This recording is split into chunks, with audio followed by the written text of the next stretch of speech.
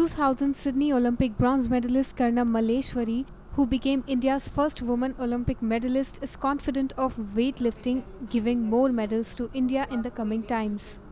While 2020 is doubtful, Karnam is sure that 2024 Paris Olympics and 2028 Los Angeles Olympics will have medalists from weightlifting.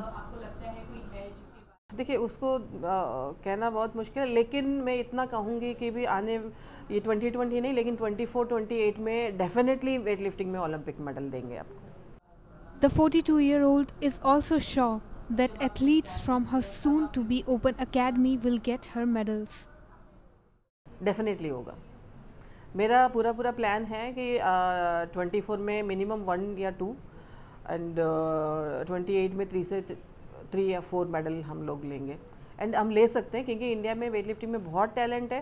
अगर एक सही दिशा में उन लोगों को लेके जाए प्रॉपर ट्रेनिंग ट्रेनिंग प्रॉपर उनको इंफ्रास्ट्रक्चर क्रिएट किया जाए प्रॉपर डाइट प्रॉपर कोचिंग अगर प्लान के साथ करेंगे तो डेफिनेटली मेडल आएगा।